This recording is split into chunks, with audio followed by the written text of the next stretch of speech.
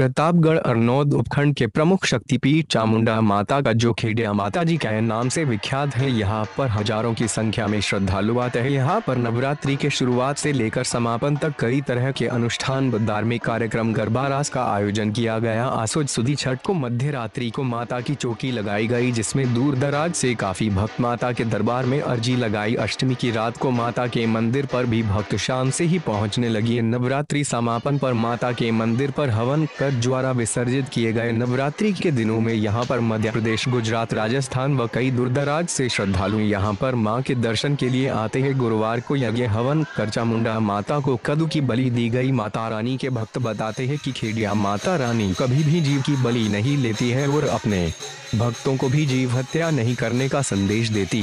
ज्वारा विसर्जन कर महाप्रसादी वितरण की गई। आसपास के माता रानी के मंदिरों पर भी ज्वारा विसर्जन किए। आप देख रहे हैं हरीश जटिया की रिपोर्ट।